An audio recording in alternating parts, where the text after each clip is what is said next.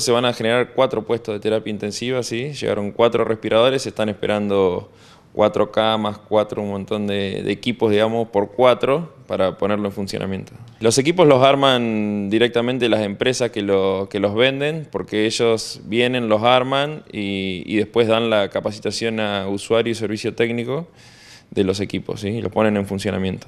La totalidad del equipamiento para pediatría es de aproximadamente 4 millones y medio. Lo que se está recibiendo, cada respirador está aproximadamente 450 mil pesos cada uno.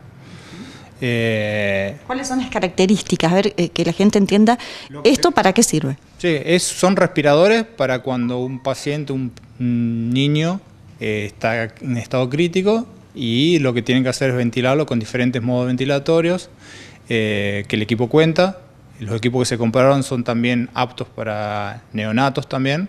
Son todos equipos importados, no son argentinos. Eh, la tecnología es lo último que hay en, en modos respiratorios. Sí, es para montar toda una terapia pediátrica desde cero, digamos.